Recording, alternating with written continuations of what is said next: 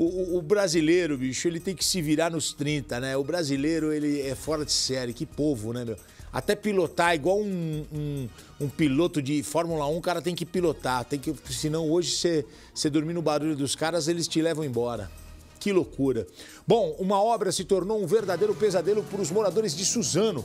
Me dá as imagens aqui, ó. Nós estamos agora na região metropolitana de São Paulo. Dá uma olhada na poeira levantada por essas máquinas, ó. É tão intensa que parece até uma tempestade de areia. Ó, ó o garotinho no quarto dele, ó. Ó. Ó o pano como é que fica, olha o chão. Você vai ver daqui a pouco como é que fica a cueca, a calcinha, a roupa que o pessoal põe no varal. Tudo fica coberto por uma poeira vermelha. Olha só, cor de terra. Os carros estacionados estão sempre sujos, as janelas, os móveis e até as roupas estendidas no varal também ficam com esse pó acumulado. E o pessoal está reclamando desses problemas já faz tempo. O pessoal está com problema respiratório. Imagina só respirar essa poeira o dia todo. As crianças são as mais prejudicadas. Olha a piscina como é que fica. Horrível. Horrível, né, Lombardo? Terrível. Algumas crianças já foram internadas com problemas respiratórios. E os moradores já reclamaram com a construtora. A empresa instalou alguns tapumes, mas não foram suficientes para conter a poeira.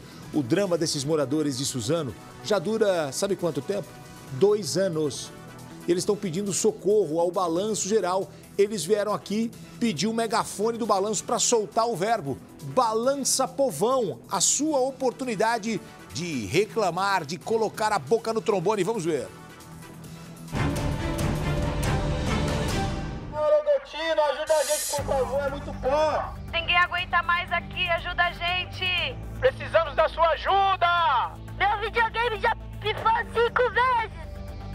O Benjamin tem nove anos e mora com os pais nesse condomínio em Suzano, na região metropolitana de São Paulo. O videogame é o menor dos problemas.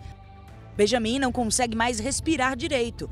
Precisou até procurar um médico. É que a casa da família agora vive cheia de poeira tudo por causa da obra para a construção de um condomínio. É uma tristeza porque assim, você acaba de passar o pano, você já tem que passar de novo. É, meus filhos, eu tô rouca, eu fico rouca regularmente, minha garganta arde, fica, fica ardendo, fica aquele negócio, parece que não é dor de garganta, é uma ardência. É, então, assim, é toda hora, todo dia, todo momento, a gente não pode deixar direito a janela aberta. Se abre uma, tem que fechar outra. A roupa de cama precisa ser trocada todo dia. O armário acumula muito pó e a janela nem se fala. Não aguento mais lavar roupa. Aí se eu penduro aqui, suja no varal. E o Balança Povão resolveu não só fazer toda essa reportagem, mas também fazer um teste. A gente pegou esse copo aqui de água, de vidro transparente. A gente vai encher ele com um pouquinho de água. Acho que está suficiente aqui na metade. E vamos colocar na mesa aqui da casa da Carolina. A gente está no começo da nossa reportagem.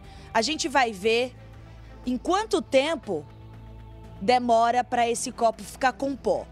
Ou melhor, a gente vai falar aqui com todas as outras pessoas e no final a gente volta aqui e vê a quantidade de pó que ficou acumulado no copo.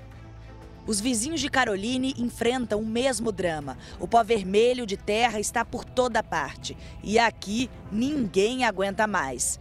Inquilinos que estavam aqui há muito tempo e depois dessa poeira tiveram que mudar por problemas respiratórios com os filhos ou até com eles mesmos. Né? Os telhados de vidro e acrílico mudaram de cor por conta do pó. A piscina dessa casa deveria ter aquela água cristalina, mas ninguém consegue usar. O filho da Juliana foi internado, ficou três dias na UTI por problemas respiratórios. Ele começou a apresentar um quadro de tosse e evoluindo para falta de respiração. E aí eu fiz uma inalação nele e acabou que não melhorou. Eu levei para o hospital no pronto-socorro e acabou que ele foi internado porque ele devido que ele estava com dificuldade respiratória mesmo com tratamento médico, né? A gente está aqui na casa da Juliana e ela limpou essa bancada ontem. Olha só a quantidade de pó que já está acumulada. Minha mão tá vermelha, laranja, por conta dessa argila, desse barro que sobe aqui, principalmente em dias quentes. Ela lavou a máquina também ontem, passou um pano aqui em cima, mas completamente suja. E agora você vai ver a cor da água. A gente vai tirar aqui a tampa para você ver como tá turva essa água. Os moradores estão revoltados. A obra começou há dois anos e desde então sempre teve poeira. Só que agora a obra acelerou e o pó aumentou.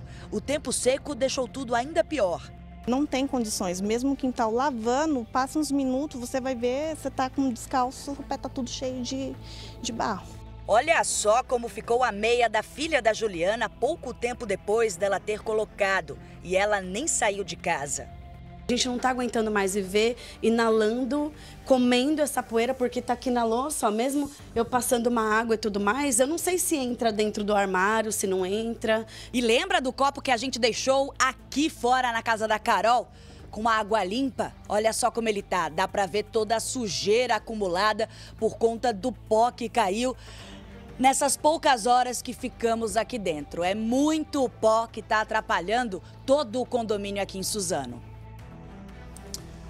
Olha, o pessoal conta com a gente. Estamos entrando em contato com as autoridades competentes e pedindo encarecidamente que as autoridades façam alguma coisa. Os moradores, ó, você vai fazer uma obra? Não tem problema nenhum fazer a obra. A obra está dentro da lei, está tudo certinho.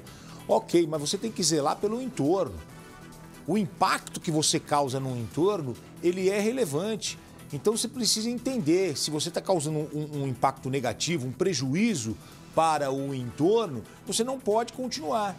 Ah, Gotino, eu quero continuar, eu preciso continuar. Então tome medidas que você vai impedir que isso aconteça. Tá muito É, eu, feio queria, isso. eu queria saber dos engenheiros que montaram essa obra se acontecesse isso com eles. Eles moram muito longe daí. É. Agora, e os vereadores que têm que fiscalizar? E o prefeito que tem que fiscalizar? Ninguém fiscaliza nada, mas aqui a gente vai lá e denuncia.